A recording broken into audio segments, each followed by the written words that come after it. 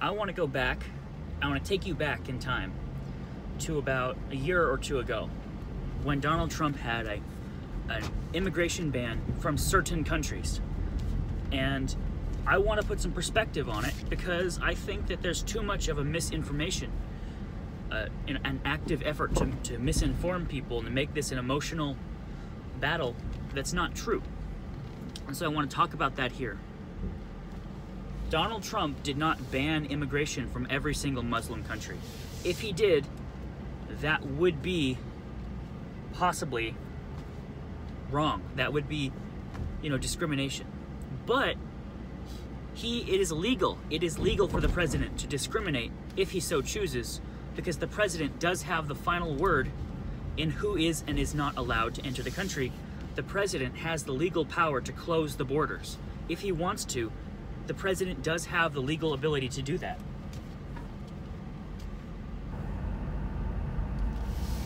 Based for any reason, for any characteristic that's in federal law. That's in, I forget, it's United States Code. I forget which one. I'll have to go look it up. I'll put it in the description. But he's able to do it.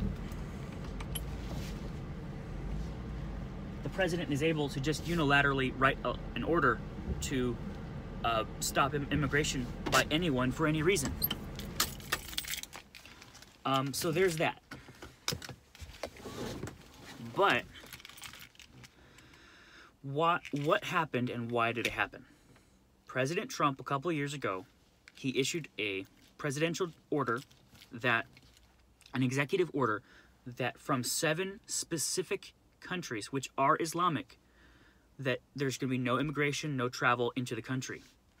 And the reason why, the reason why those seven specific countries is because those seven specific countries were not cooperating with the NSA or the FBI or any, of our federal agencies when it comes to identifying and making a list of criminals and terror suspects eh, or terror known terrorists. They were not giving us their records. They were not keeping any records because they don't think it's a problem. That you know, in these particular majority Islamic countries where Islam is the government. Do you understand that there are some countries in the world where Islam is the government? Those include Iraq, Afghanistan, Syria, Somalia, etc., and so forth. I can read you the Global Terror Index. Did you know that there is such a thing as a Global Terror Index? There's uh, people who use statistics and data to create a mathematical representation of the level of terrorism that exists in various countries. And did you know that Syria and Somalia and Iraq and Afghanistan are at the top five? And they have been for the last 10 years, just about. They're consistently in the top five most terrorist countries in the world. And that's not me spouting my opinion. That's the Global Terror Index. That's you, you kind of can't argue with that. It's basically mathematics. It's just math. It's just counting up the likelihood and level of terrorism that's going on there. And so these particular countries are in the top 10 at least. And most of them, the most of them are in the top 5. You know, countries that restrict Islam, such as Japan, they have a harsh restriction. They're down at they're down at 2. They have very little terrorism countries that are permissive of, of Islam to exist, but they're uh, watchful of it, such as France, uh, United States. We, we, we sit right around the middle. So, right at like 5, 5.6. So, you see, countries that restrict Islam, they, they, they ban it. They say Islam is restricted. They have a very low, very low level of, of terrorism. Countries that try their best to prevent terrorism, but they do allow Islam. So they say no to, the, to terrorism, but Islam is okay. They're right in the middle. They have a, a, a terrorism index of around five. But countries where Islam is the government, like the government of these countries is Islam, like Somalia, like Syria, Iraq, Afghanistan, Pakistan. And by the way, these are battleground countries. Keep that in mind. They have a terror index of 8, 9, and 10, depending on the year. And some countries, such as Syria, are in the, consistently, again and again and again, are in the top five. But you might notice that Iran is down around a four. Why is that? Because it's not it's not down at zero, is it? But it's because they they don't target themselves. Islamic terrorists don't target themselves for no reason. Islamic terrorists target non-Muslims to kill non-Muslims to attack non-Muslim countries. When Islamic terrorists get everything they want and make their perfect utopia of an Islamic country that is exactly what they want it to be, then they stop attacking that country because they're not they're not trying to uh, sorry I scratched my face because they're not trying to attack Muslims they're trying to attack kafirs, what they call kafirs. In the Islamic vocabulary, in the Islamic dictionary, in the Islamic dictionary, uh, non-Muslims who deserve to be attacked and destroyed are called kafirs. So anyone who, you know, if you've slept with your girlfriend without marrying her, you never married her, you just slept with her, they, they think that you need to die. If you eat, you know, if you've, if you, uh, if you used to be a Muslim, but now you're a Christian or a Jew or you're something else now, you're now you become an atheist, you're a kafir. They want to kill you. That's that's what the religion commands. There's a various. If you're a homosexual, Islam, the the religion of Islam calls you a kafir. K A F I R. It's a bad name. It's an insult. I'm a kafir. According to them, I don't. I'm not. A, okay, I'm not a kafir, but they will call me it. So that's what they call me. It's not what I call myself, and I don't agree with them.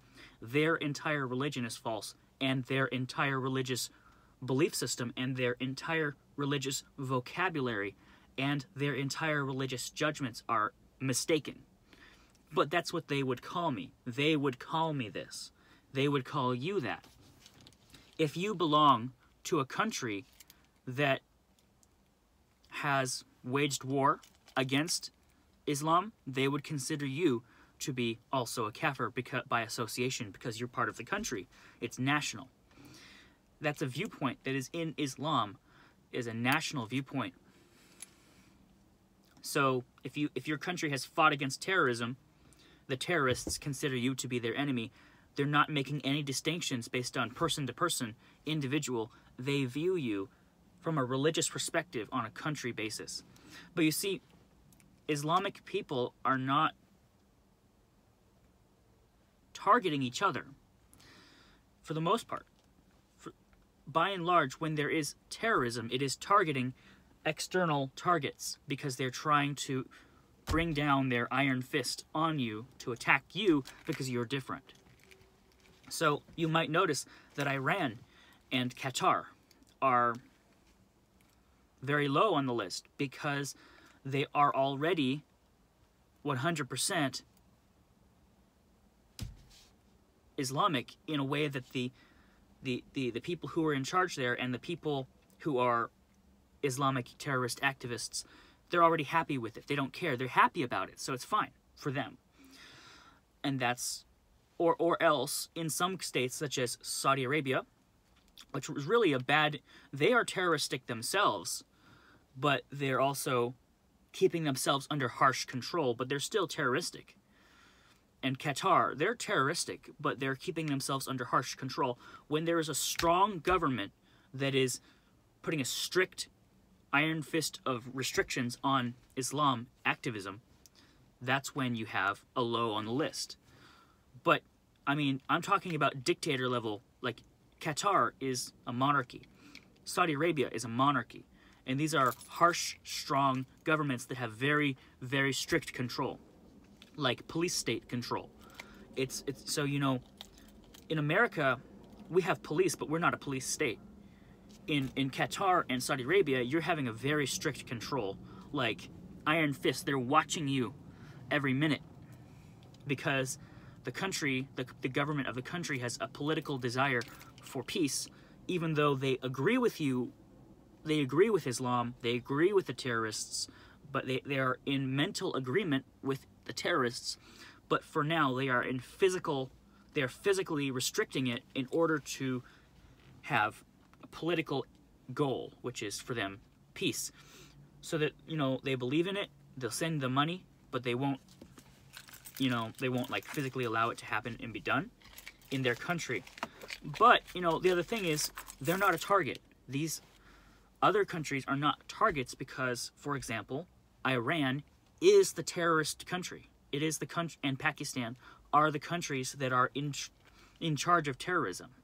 They are run by terrorists. You know, you know the people of Hamas, you know, in Gaza, are not attacking themselves; they're attacking Israel. So you might ask, well, wh why aren't the Gazans attacking themselves if they're so terroristic?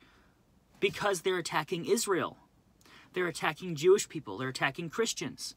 They're attacking Christians and Jews and trying to blow those guys up. Islamic terrorists are not targeting themselves. They're not targeting Islam. They're trying to target outsiders. That's the point. So when you're looking at why does Iran stand low on the list, it, and why does Somalia stand a little bit lower on the list than Syria? It's 7.8, whereas Syria is an 8. And uh, others like Afghanistan are like a 9, 9.6 or something. It's because Somalia and Iran are the whole the whole country is terrorism. The whole country is completely controlled. It's like they've already won. They've already won. The battle is over. Now they're targeting outsiders. So, you know, you might notice that Iran has a relatively low uh, terrorism index, but all the countries surrounding Iran, Afghanistan, Pakistan, Iraq, Syria, those countries have extremely high terrorism indexes because Iran is exporting. They are an exporter. They are they are activists. They're trying to send all this terrorism out because they have already completed. They they've created a utopia for themselves. They think that that's their country is Islamic terrorism. They're they're not targeting themselves. They're targeting everyone else around them. That's why. So you might notice that the next door neighbors of Iran have extremely high terrorism uh, indexes because Iran is pushing that. You know, a lot of these, you know, you notice that there's a lower terrorism index for Islamic countries that are secular. So, for example, Turkey is secular. Uh, I believe Indonesia is relatively secular. You know, various ones like Cameroon, there's various other ones, they are strongly secular, or else they're a backwater. That's one more reason, is that nobody cares what's going on in Qatar. Nobody cares what's going on in Cameroon because it's unimportant. It's a backwater. It's relatively un. It's not. Nobody notices it. Nobody goes there. It's like, you know, it's it's uh, it's like in America, people don't worry about what happens in a small town in a backwater because we do have small towns, and it's really what happens there doesn't hit the front page news and quite frankly, bad guys don't go to, to those places. Really, I mean, you know, major, major bad guys, like national level bad guys, don't go to some small farming, farming town in some, you know, Bible Belt state because they just don't care. It's just small. It's it's unimportant to them. Nobody worries about Qatar. Nobody worries about Cameroon. They're worrying about, you know, the the big leagues. So that's that's one more one more issue. But why did Donald Trump ban these seven countries? Donald Trump didn't ban some other countries that are very very high on the list that are higher on the list than others because they were